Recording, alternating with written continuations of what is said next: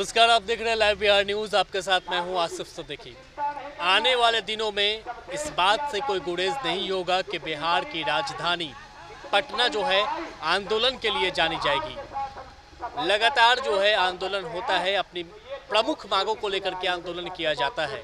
कोई ऐसी मांग नहीं है जो छोटी मोटी मांग है, बड़ी मांगे होती है, उसको लेकर के आंदोलन किया जाता है। सरकार को अपनी आवाज़ सुनाने की कोशिश की जाती है आंदोलन के माध्यम से।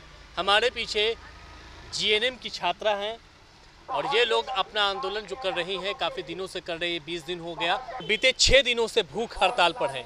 इनका ये कहना है कि जो इनके साथ यहाँ पर बैठी थी, वो अस्पताल में भर्ती हो चुकी है क्योंकि भूख हड़ताल है। बावजूद इसके सरकार का कोई भी नुमाइंदा जो है, इन लोगों की बात सुनने नहीं आता है, किसी तरह का कोई आश्वासन नहीं मिलता है। हालात ये हो चुका है कि हम ये कह सकते हैं कि बिहार का युवा जो है अब शिक्षा शिक्षा को लेकर के आंदोलन कर रहा है रोज़गार को लेकर के आंदोलन कर रहा है अपने हक की आवाज़ को लेकर के आंदोलन कर रहा है। और इसका नज़ारा मेरे पीछे साफ़ आप तौर पर देख सकते हैं। आप बताइए आपका नाम क्या हुआ? प्रेरणा जे N M student P M C H जे स्टूडेंट है पी एम सी। एच से प्रेरणा कहाँ से है? हम तो मुंगेर से हैं। मुंगेर से। कब से आप लोगों का आंदोलन चल रहा है यहाँ पर? यहाँ गर्दनी बाग में 20 दिन हो चुका है और आज आठवां दिन है भूख हड़ताल का और लेकिन हम लोग का प्रोटेस्ट जो है वो दो मई से ही स्टार्ट हुआ था। तो एक महीने से ज़्यादा हो चुका है।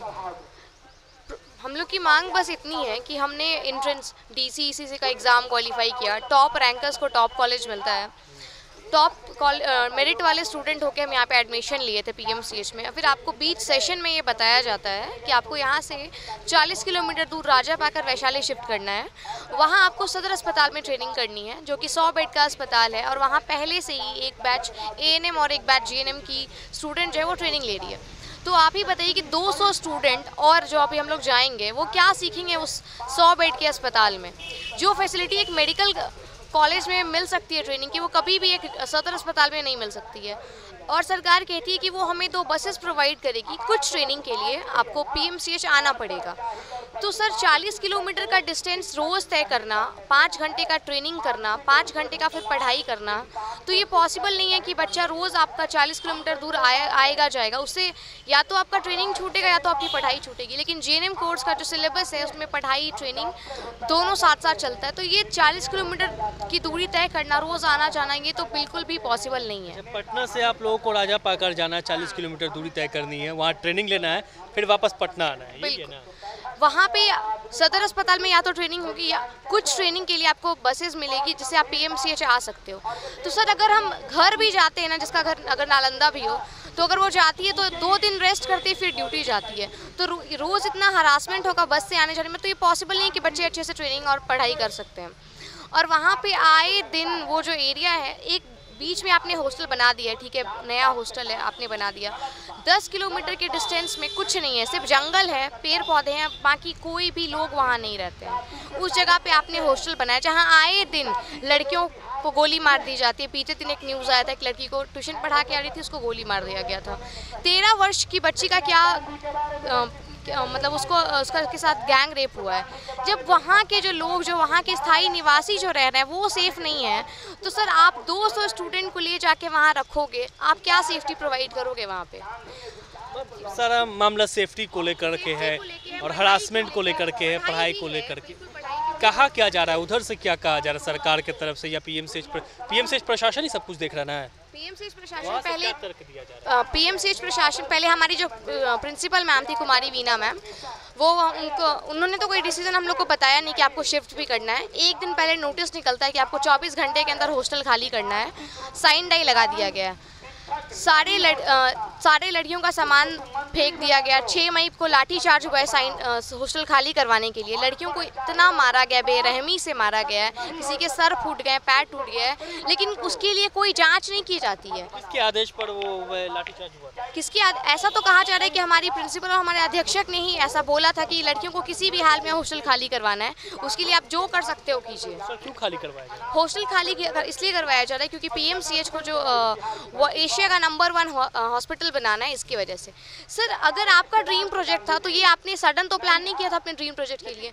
तो आप अपने ड्रीम प्रोजेक्ट को फुलफिल करने के लिए ठीक है बिहार गौरवान्वित हो रहा है हम भी बहुत खुश हैं इस बात से लेकिन आप 200 बच्चे का फ्यूचर क्यों बर्बाद कर रहे हैं? मतलब आप लोग बलि चल रही है। हमारी बलि ही तो दी जा रही है ना आपका निर्णय था ठीक है आप यहाँ के जो सरकार में आप हैं आप चाहे तो आप जो कहते हैं ना मंत्री मंगल पांडे जी कहते हैं कि वो छः महीने से हॉस्टल ढूंढ रहे हैं उन्होंने टेंडर निकाला लेकिन उनको हॉस्टल नहीं मिलता है। वाकई में टेंडर निकला था? एक टेंडर निकाला गया था लेकिन फिर पता नहीं उसका क्या हुआ लेकिन हॉस्टल को लेकर हॉस्टल को लेके। लेकिन वो बोले कि हमने बहुत कोशिश की हमको जगह नहीं मिला। अगर आप कोई अल्टरनेटिव ऑप्शन जानती हैं तो आप बताइए। हम स्टूडेंट को कहा गया। तो हमने बोला कि सर हम तो यहाँ पढ़ने आए हम कैसे अल्टरनेटिव ऑप्शन आपको बता सकते हैं? वो, वो भी बाहर से आए। बट फिर भी हम अल्टरनेटिव ऑप्शन उनको बहुत सारा बता चुके हैं। गुरु रहमान सर जो बोले हैं बिकना पहाड़ी में हमने एक जगह देख भी ली है आदर्श भवन। वहाँ 200 स्टूडेंट आराम से रह सकते हैं। हमने अल्टरनेटिव ऑप्शंस बताया भी है। लेकिन सरकार अब हमारी बात सुनने को तैयार नहीं है। वो कुछ भी सुन नहीं रही है। हम लोग एक महीने से हमारा पढ़ाई लिखाई बंद है। हम सड़कों पे बैठे हुए हैं। अपने पढ़ाई को लेके मांग करें कि सर हमें पढ़ने आप कहते हो बेटी बचाओ बेटी पढ़ाओ।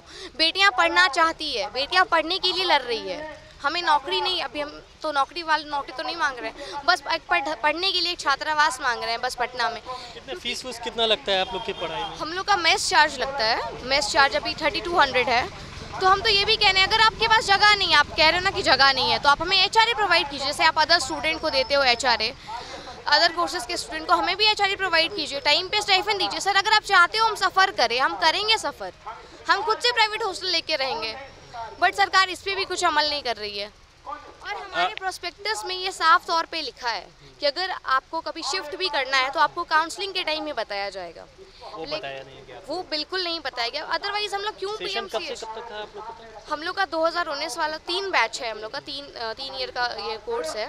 तो तीनों बैच को शिफ्ट किया जा रहा है। अभी जो न्यू बैच की स्टूडेंट भी है यहाँ पे है उनको भी नहीं बताया गया। उनको अभी नाम जो है पीएमसीएच के नाम पे लिया गया है एडमिशन और उनके साथ सबके साथ तो धोखाधड़ी हो रहा है ना। आप एडमिशन ले रहे हो पीएमसीएच के नाम पे भेज रहे हो राजा पाकर। वहाँ से मेडिकल हम ही स्टूडेंट नर्सेज ही तो नहीं है। मेडिकल स्टूडेंट के लिए आपको जगह मिल जाता है। उनको आप पीएमसीएच में ही रखते हो। और हम नर्सेज के लिए आप जो हर्ट है हॉस्पिटल की आप ही कहते हो। और उसको आप राजा पाकर वैशाली भेज रहे हो। ये कहाँ तक सही है हमारे लिए? हमारे साथ ही डिस्क्रिमिनेशन क्यों कर रहे हैं आप? आप लोग भूख हड़ताल पर भी है। कहाँ से मैं दरभंगा डिस्ट्रिक्ट से हूँ। मैं हम लोग भूख हड़ताल पर आप लोग छह दिनों से बैठे हुए आठ दिनों से हम लोग भूख हड़ताल पर बैठे हुए हैं। कुछ भी नहीं कई सारी लड़कियाँ बीमार हो चुकी है कई का सलाइन भी हम लोग जिनका खुद से इलाज कर सकते थे उतना किए। और जो सीरियस हो चुकी है गर्दानी बाग अस्पताल में इलाज के लिए भेज देते हैं हम लोग। अपने मांगों पर अड़ेंगे घर से गार्जियन का फ़ोन आता है? हाँ बिल्कुल आता है फ़ोन क्या बोलती क्या जवाब देती पढ़ाई करने की धरना प्रदर्शन बैठी पापा मम्मी का कहना है कि मतलब अपने हक की लड़ाई के लिए लड़ो क्योंकि दूसरा कोई तुम्हारे हक के लिए लड़ाई के लिए नहीं लड़ेगा। अगर तुम्हें कुछ कितनी स्टूडेंट है आप लोग? हम लोग लगभग 200 स्टूडेंट है लेकिन 6 मई को जो लाठी चार्ज किया गया जिसकी वजह से कई सारे पेरेंट्स जो अपना हाथ पीछे खींच दिए कोई भी नहीं चाहेगा कि हाँ, उनके बच्चों को इस तरह से मारा जाए कि वो उनका भविष्य बर्बाद हो जाए। पीएमसीएच में जो आप लोग प्रदर्शन किए थे तब जी। यहाँ ठीक है ना? यहाँ पे भी यहाँ पे जो सिटी मजिस्ट्रेट आते हैं वो हम लोग को धमकी दे के जाते हैं कि आप जो बैठी हैं ये इलीगल है ये इनवैलिड है। आपने जब फ़ोटोज़ हमारे पास तो सारा विजुअल्स है कि हम पे लाठीचार्ज वो कहते हैं वो एडिटेड है। कहते हैं आप पे एफआईआर कर दिया जाएगा, आपका करियर खराब कर देंगे। आप छः मई को जो आपके साथ लाठी चार्ज हुआ है आप लोग भूल गई हैं, वो दोहर, वो फिर से दोहराया जाएगा। हमको धमकियाँ मिल रही है। वो ये देखने नहीं आ रहा है कि जो बेटियाँ हैं, बिहार की तो बेटियाँ हैं, हम थोड़ी ना आतंकवादी हैं। वो ये देखने नहीं आ रहे कि बेटियाँ ज़िंदा है, मर गई है, कैसी है, वो उससे मतलब नहीं है हम, हमारी सरकार को।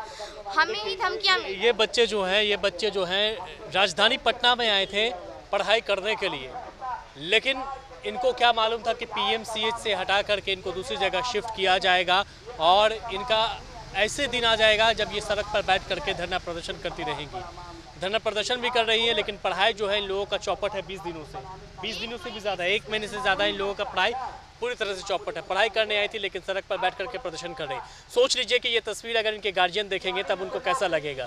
क्योंकि उन्होंने अपने बेटी को पढ़ाने के लिए ना जाने कितने जतन किए होंगे और ना जाने क्या कुछ परिश्रम किए होंगे कि उनकी बेटी आगे चल करके नर्स बने, डॉक्टर बने। नर्स के लोग पढ़ाई कर रहे जीएनएम की पढ़ाई कर रहे हैं पढ़ाई करने के लिए पटना आए थे। लेकिन बावजूद इसके, इन लोग, ये लोग जो है अपनी हक के लिए लड़ रहे हैं।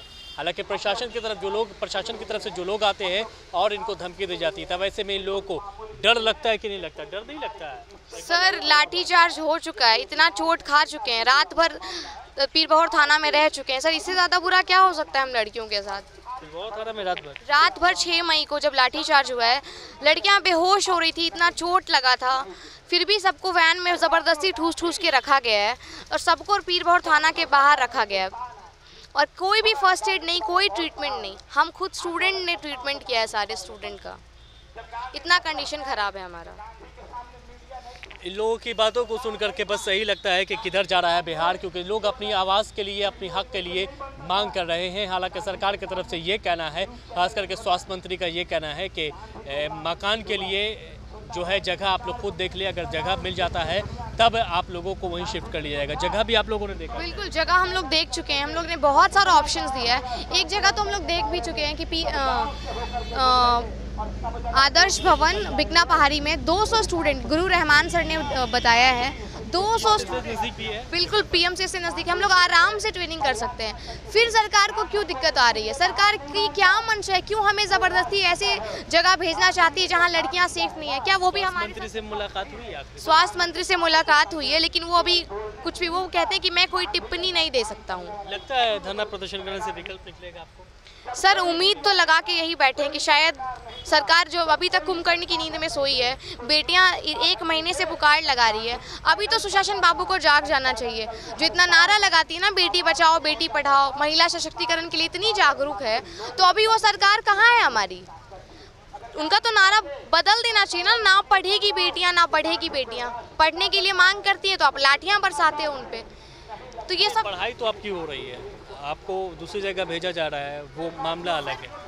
मामला तो पढ़ाई तो आपकी हो रही पढ़ाई नहीं इसका ठीक है बट फिर भी ये तो गलत ही हो रहा है ना हमारे साथ तो गलत आवाज़ उठा रहे आपके साथ गलत हो रहा है क्योंकि आप लोग ये सोच करके आए थे कि राजधानी पटना में रह करके पटना में पीएमसीएच में पढ़ेंगे। पीएमसीएच में टॉप कॉलेज में पढ़ेंगे अदर स्टूडेंट से हमारा जो ट्रेनिंग होगा किया तो बिल्कुल। अदर स्टूडेंट से जो हमारा ट्रेनिंग होगा हमारा जो स्टडीज़ होगा वो बहुत अच्छा होगा। बट अभी क्या मिल रहा है हम लोग को? सड़कों पे बैठे हैं धरना प्रदर्शन कर रहे हैं सबकी स्थिति खराब है भूख हड़ताल रहेगा। सर जब तक हमारी मांग पूरी नहीं होती कोई ऑप्शन नहीं अगर राजा अगर जाके भी अगर कुछ भी कुछ भी गलत होता है तो भी ऐसे ही मरना होगा हम लोग को। तो लिया राजा पाकर नहीं जाना। नहीं जाना है। पेरेंट्स ने भी बोल दिया है छोड़ देना जीएनएम नहीं पढ़ना है जीएनएम कोई अदर कोर्स कर लेना लेकिन राजा पाकर नहीं जाना। भरोसा टूट रहा है। सरकार से तो भरोसा टूट ही रहा है। जो सरकार भरोसा हौसला है। कुछ हौसला है कि शायद सुशासन बाबू जो इतने नारे लगाती है शायद वो कभी जाग जाए होश शायद वो होश में आ जाए और बेटियों का दर्द देख ले तब उनकी आँखें खुल जाए शायद वो आ जाए एक बार देखने के लिए। तो हौसला अभी भी है। बिल्कुल हौसला तो है। तो ये वो छात्र हैं जो अपनी मांगों पर अडिंग है और साफ़ तौर पर कहना है कि ये लोग जो है पटना को छोड़ करके राजा पाकर नहीं जाएँगे क्योंकि वहाँ इन लोगों सिक्योरिटी का इशू है और वहाँ आने जाने का भी मसला इन लोग बता रहे हैं, लेकिन सरकार की तरफ़ से अभी तक कोई भी संज्ञान नहीं लिया गया है। और भूख हड़ताल पर है, ये लोग छात्र हैं, भूख हड़ताल पर हैं, अपने घर से ये घर बार छोड़ करके महज इसलिए आई हैं कि यहाँ पढ़ाई कर सके। लेकिन परिस्थिति ऐसी आ गई है कि अब सड़क पर बैठ करके भूख हड़ताल कर रही है। हम उम्मीद करते हैं कि सरकार इनकी आवाज़ को, इनकी मांग को ज़रूर सुने, ताकि बिहार का भविष्य जो है संवर सके।